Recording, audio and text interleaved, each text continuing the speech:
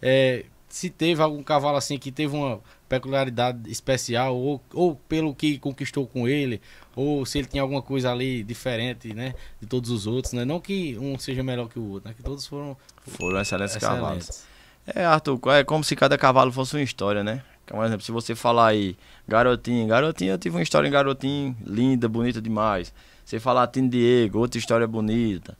Biviolena Chique, Rick Lee, aí veio Pantera num momento difícil. Que Pantera veio pra mim, eu sem adaptação nela, se eu não me engano, tinha seis vaquejadas, ela empate com outro cavalo e eu fui contratado para ter, para ser campeão, para fazer ela campeã no momento de pressão. E graças a Deus Deus honrou e a gente conseguiu fazer. Mas cada cavalo tem sua sua história que assim não é que nenhum seja melhor do que o outro, mas cada um tem uma história diferente que torna cada um é, especial na vida da gente. E a, a, a, Pantera, né, que eu fiz questão de colocar aqui no roteiro, a Pantera foi tríplice coroada no Portal Vaquejado. Foi. Né? É um recorde que eu, vi, eu botei até o ano, foi em 2019 que ela bateu esse recorde, no caso. Foi, no, no ano que... Mas ela já vinha com história, já construída uhum. com o Diego Deliziaro, que é outro excelente vaqueiro, até que quando ele saiu dela, eu fui quem assumi e correr nela e graças a Deus Deus honrou. Pantera é um animal fenomenal, hoje faz parte aí do plantel do Ares São Pedro. Mandar um abraço para os meninos aí do do Ares São Pedro, mandar um abraço para Etinho, do Ares 3E, que foi um cara assim que acreditou em mim. Até eu dizer a ele que foi um momento de loucura, que Diego vinha ganhando tudo nela, mas eu acho que não deu mais certo a parceria deles. Foi onde eu entrei e graças a Deus deu certo também. Só gratidão a Deus. E é, é, essa questão do, do, do, cavalo, do cavalo ainda, né? né?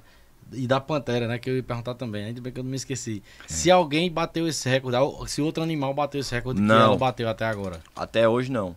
Se eu não me engano, ela é o animal mais pontuado do Portal Vaquejado também. Se não me engano, ela, ela é um animal. 2019 até agora ainda não teve outro animal. Não. Eu, eu, minha contribuição dela foi muito pouca, né? Uhum. Foi muito mais assim na hora da pressão mesmo. Mas a história maior dela é com o Diego Delisiário. Méritos aí de Diego Delisiário de ter construído essa história bacana em Pantera aí. Eu fazer que nem outro. Eu vim só pra ajudar um pouquinho aí. E aí, resumindo, é, é, eu gosto, o que o cavalo significa para você? Ah, bicho, cavalo é tudo na minha vida, assim. Vou te falar é como se fosse, eu digo sempre, é, eu quero meus meninos que sejam criados no meio do cavalo, porque talvez se eu não fosse criado no meio do, no meio do cavalo, eu não tivesse a cultura que eu tenho hoje. E assim, você sabe que no meio do cavalo tem aquele negócio do homem ser homem de fato. Uhum. Que hoje o esporte vaquejado, ele não tem. É, ele não.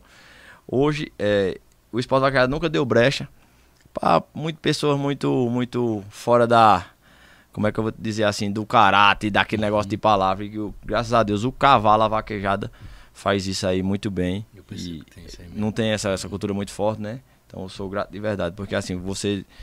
É, ser homem é uma coisa, ser macho é outra. Ser homem, eu acho que você precisa ser, além de, ser, de ter o órgão sexual masculino, você precisa ter atitude, ser um homem de palavra, ter honestidade. E eu acho que é basicamente isso. E até, é, é, usando até esse termo, né?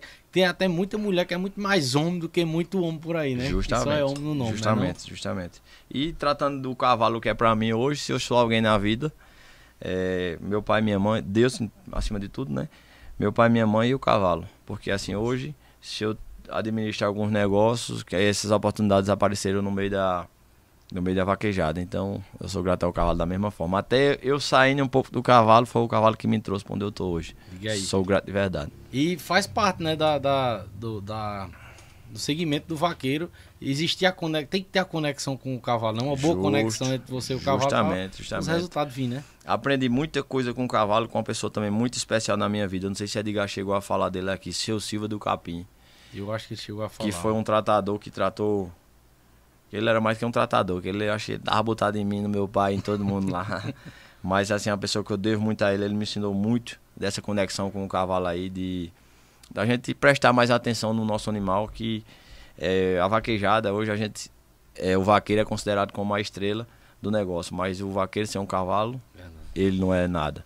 Um vaqueiro sem um cavalo de esteira bom, ele não é nada, sem um base de esteira bom, ele não é nada, então é um, a, a vaquejada ela é, tem que ser valorizado mais o conjunto Aproveitar até mandar um abraço aí pros meus esteireiros aí, Todiet, Jefferson Nuno, Nego Edson, são pessoas que eu sempre confiei, Carlos Santos, confiei bater esteira pra mim.